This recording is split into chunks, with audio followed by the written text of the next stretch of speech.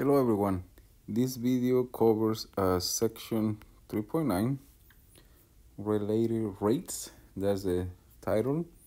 Remember the rates is referring to derivatives. Okay. And mostly these are word problems which uh, many students are not happy with word problems, but it is what it is. So the strategy to solve these problems, every book has a different strategy, and most of most of them have the same idea. First, I recommend you to read the problem at least three times, or at least two times, but at least three times. Okay, and once you read the problem, you should get like. Uh, write down the given information. Okay.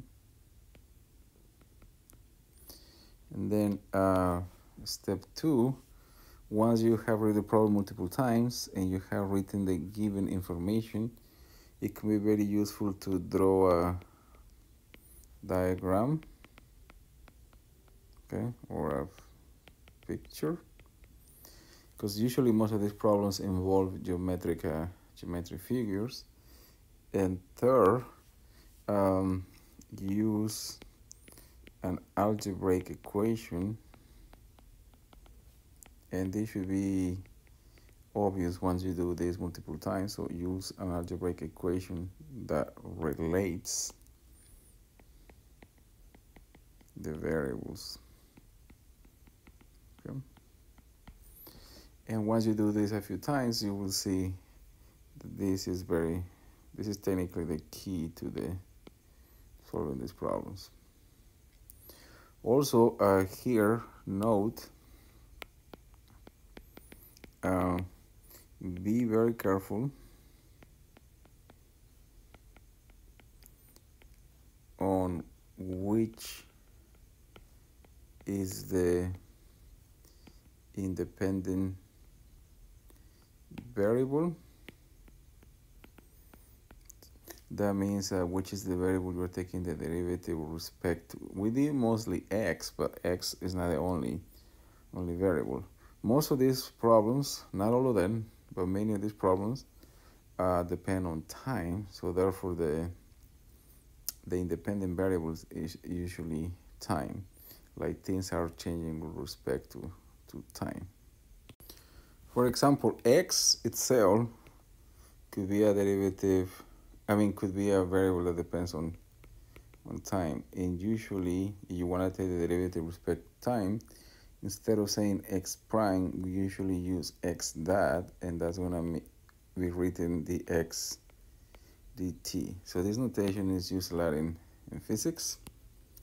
But the point here is you have to be very careful which one is the variable you are taking the derivative with respect to. So in this case, will be with respect to time. And I believe the first examples we do are all with respect to time. All right, so let's try this example. The problem says the following. An oil rig uh, springs a leak in the consins and the oil is pressed in a circular patch around the rig. So that means, let's say that the rig is right here and the oil is um, spread in a circular pattern, so like this. Okay, well these are supposed to be to be circles, and it says either radius oil, uh, either either radius of the oil patch increases. So here's it's increasing rate is increasing, the, the, this is going to mean that the derivative is positive. If it decreases, then the derivative will be negative at a rate of 30 um, meters per hour. So therefore, this is increasing by 30 meters per hour in the radius. So how fast is the, is the area of the patch increasing when the patch has a radius of um, 100 meters. So remember, once you read the question a couple times, what is the given information? The given information is that the radius of the oil patch increases at a rate of 30 miles per hour. So that's a that's a derivative.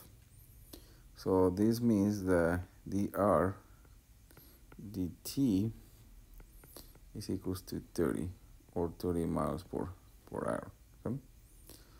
Also, it says how fast is the area increasing. So the question is um, how, what is the A dt? So this is the actual question.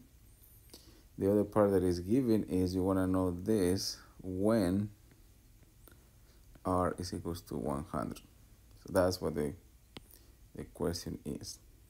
So therefore, we write the problem a couple times. Uh, we got the given information. In this case, we draw the, the picture. And then it says to use an algebraic equation that relates the, the variables. Well, here it's asking you for area. So remember the formula for area is equals to pi r square. And here, uh, things are changing with respect to time, like I say here. So therefore, um, the area in terms of time, uh, or the area will be changing with respect to time, as you can see here. This is the area when the radius is this big, and as the radius keeps changing or increasing, you can see that the area keeps getting bigger. So therefore, we take the derivative with respect to uh, so take derivative with respect to time. Why respect to time? Because we want to see how is the area changing respect to time. So therefore, this is technically implicit differentiation in some sense. So this will be dA dt, which is where we want. Pi is a constant, so this will be 2 pi r times the RDT. So that's the implicit part. So then if we plug the information, this will be 2 pi, R is 100, and the RDT is 30. So once you multiply everything, this is equals to 6, 6,000 pi meters square per hour. So that's the rate at which the area is increasing It's increasing by 6,000 pi meters squared every hour. That's it. So again, before we go to the next questions, all of them will be the same. Read the problem a few times, get the given information, uh, draw a picture if needed, and then this is very important to have an equation that relates the variables. The variables here is the radius and the area. This is what we want to find. So we take the derivative of the area formula with respect to t, now with respect to r, with respect to time, and you are using implicit differentiation in here, and then just plug in the information, and that's it. All right, well, let's try a couple more. So the next example says the following. You have two planes that are approaching an airport. So let's say that the, this is the, the airport. And uh, one is flying due west. So due west means it's going this way. And let's say this is X, okay? And the other one is flying north. So let's say north is this way. And for lack of a better notation, let's call this this Y, okay? So therefore, one plane is going this way and the other one is going this way. And obviously both of them are approaching the airport and clearly you can see that there is a distance between the the two planes so we're going to call z and this is the distance between the planes. And obviously each of them it has different different speeds. All right so what is the given information? Well, the given information is that the, the one at the west is flying at 120 miles per hour. So that means the x dt is equals to minus 120. y is a minus?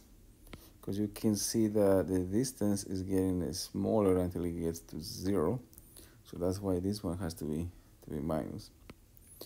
Using the same uh, logic then dy dt is uh, equals to 1 minus 1 150 miles per hour now the question is uh, how fast is the distance between the plates changing? And notice that the distance is getting smaller so the rate of change for this CDT also has to be negative. So this is a question this is what we're trying to find. You're trying to find this when um, uh, the west uh, plane is 100 miles from the airport so when this distance is 180 and when this one this distance is 225 so therefore when x is um, sorry when x is equals to 180 and y is equals to 225 or 200, 225 miles. Again, before we try to solve the problem, let's read it one more time. So the problem is telling you that there is a plane flying this way at 120 miles per hour. And technically negative because the distance is getting smaller between the two planes. So the distance between here and here is getting smaller as you can see until it will get to, to zero. It is telling that this plane is flying at 150 miles per hour. And the question is how is the distance between the two planes changing, which is this dt, when the distance between here and here is 180 and the distance between here and here is uh, uh, 225 now clearly now I told you you need an equation that relates the quantities and the equation is going to be the Pythagorean theorem because you can see this is clearly a, a triangle. So therefore the equation we have is x squared plus y squared is equals to to c squared now we take the derivative with respect to time. You're going to have 2 dx dt plus 2 uh, 2x uh, sorry I'm missing the x in here so this is technically using implicit differentiation to x the x dt plus 2y dy dt and this will be equals to to z dc dt. And remember the one we're trying to find is the z dt Here notice you can cancel the, the 2's right away for this particular problem. And you can plug in the values right there or you can solve for uh, for z first. If we solve for z, dz dt, this is just basic algebra. You should stop the video and check this is the case. This will be x uh, dx dt plus y dy dt, everything divided by, by, z, by z. Now, this we already know. We know this, we know this, and we know this because it was given. It's right here. So the only one we don't have so far is z.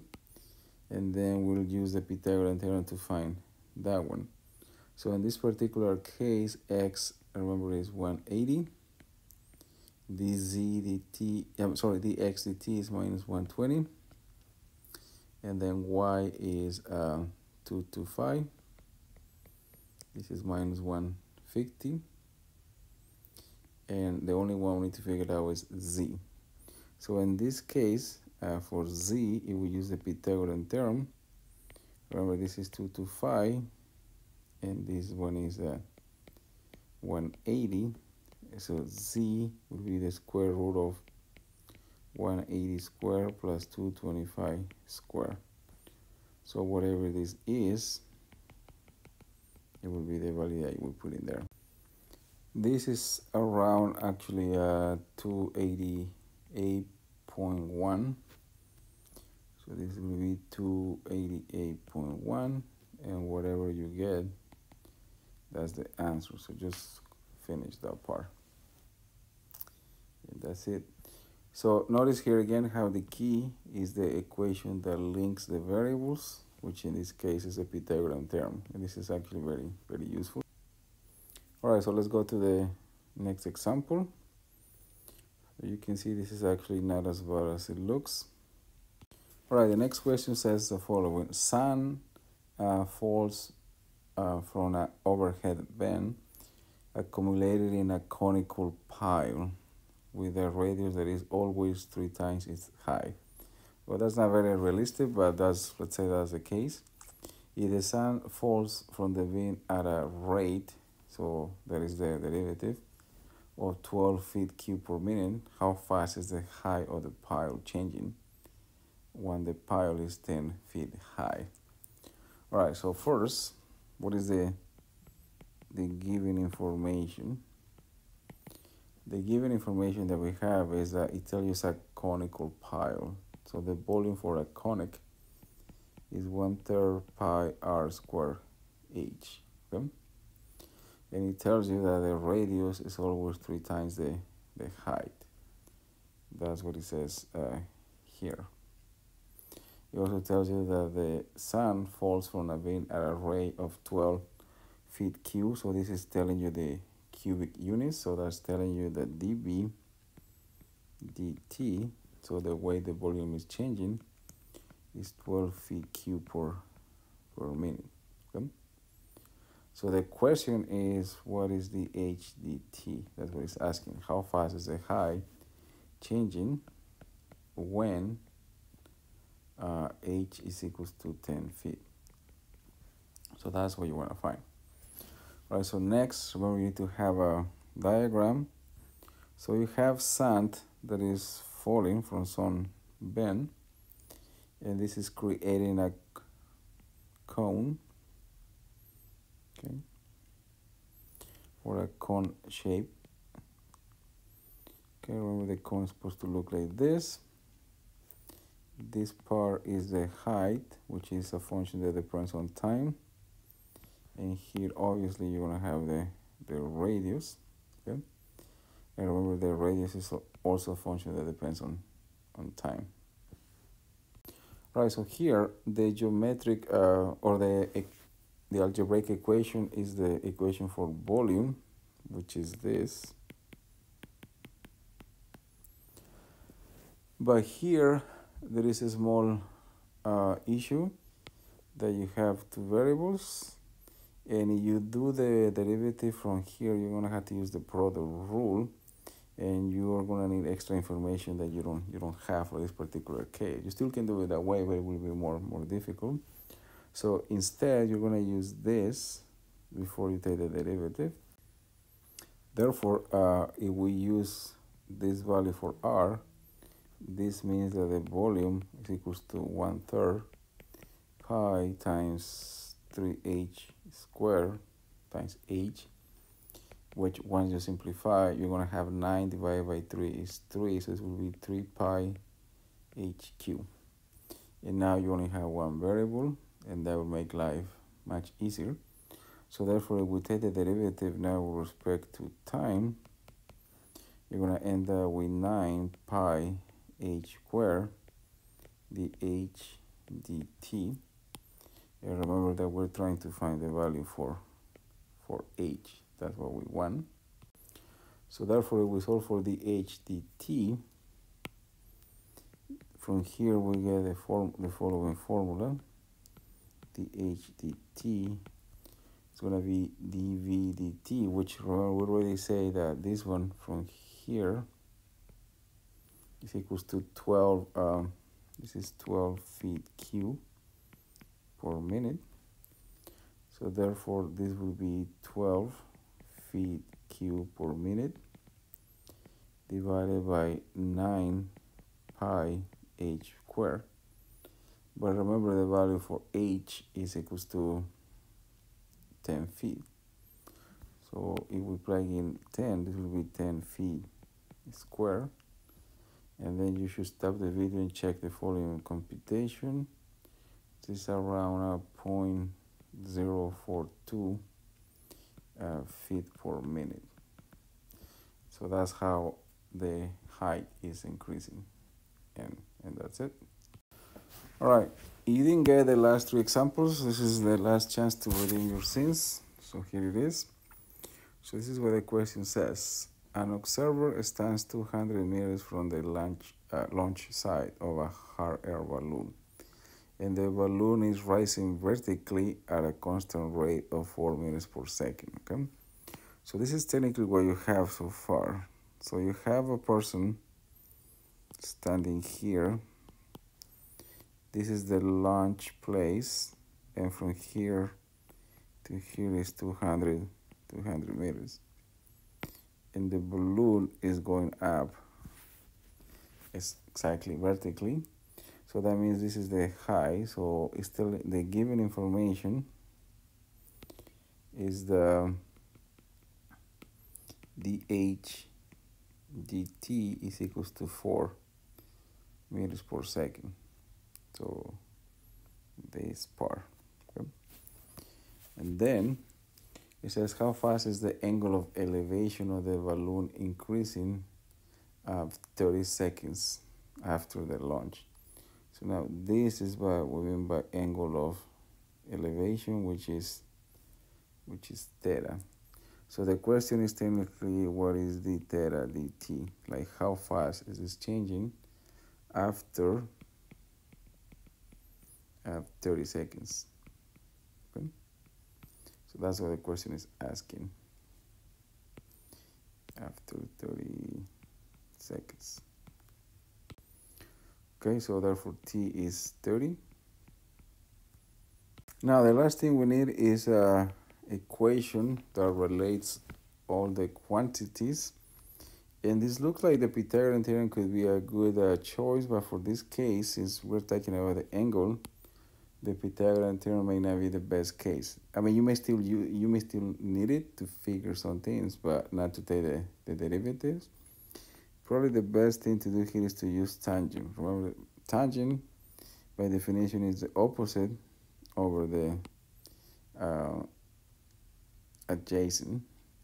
So therefore, in this case, this will be equals to h over 200 the 200 doesn't change so therefore from here that means that h is just equals to 200 times tangent theta.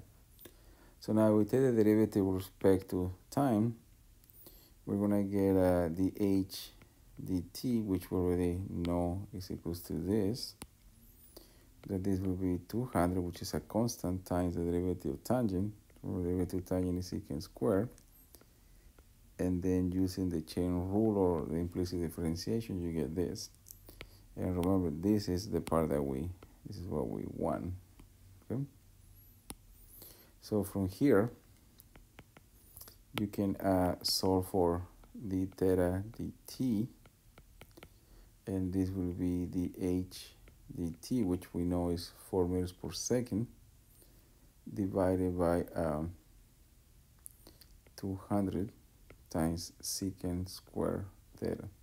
Now, after 30 seconds, we're going to get the following triangle. This one is 200 meters. This is not going to change because that's the distance between the person and the balloon. But after 30 seconds, this will be 120 uh, y because it's increasing uh, 4 seconds, uh, 4 meters per second. So after 30 seconds, it has to be 100 and 120.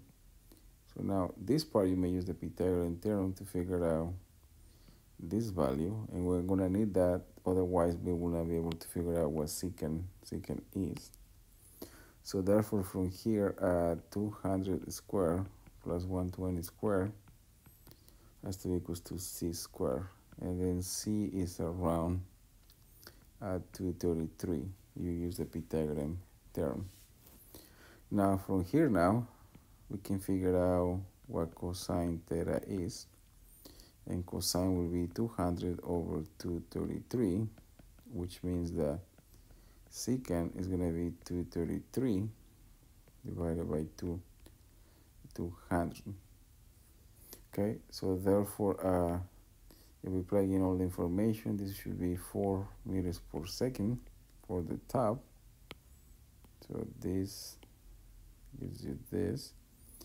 And then on the bottom we'll get 200 times secant square which is uh, 233 divided by 200 the whole thing square and uh, once you simplify everything this is around 0.015 radians per second.